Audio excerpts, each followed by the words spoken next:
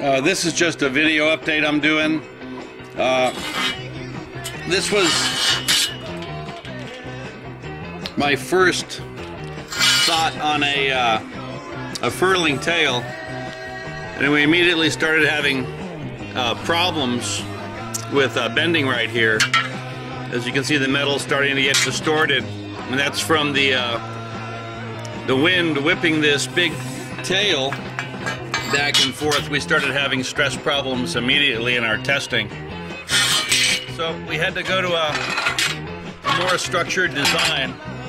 As you can see, this one has little thumbs here that grab the tubing, and the sides are bent. This uh, this whole part is tapered, so there's not as much weight on the back, and it has structurally it's very strong now, and that'll just kind of uh, fit like that and uh, furl when the uh, wind is real strong. And the nice thing about this, the, these brackets, they'll fit on all the uh, mounts we ever built. So if you want to get a furling tail, you can simply just bolt it onto uh, your existing bracket. And voila, you got a furling tail. And uh, we're going to be testing this design for a couple of weeks. Uh, hopefully we'll have some severe winds so we can really give it a test, but it's coming along. It's sure a lot better than the first prototype.